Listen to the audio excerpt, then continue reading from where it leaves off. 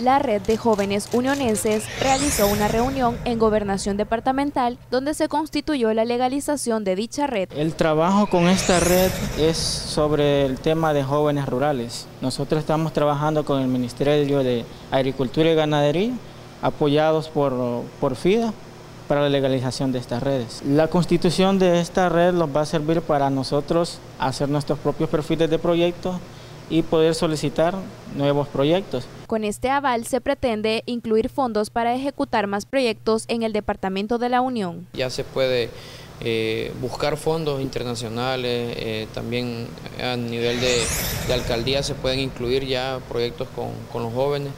Eh, esto se viene dando desde hace dos años, pero hasta este año ya se ha logrado.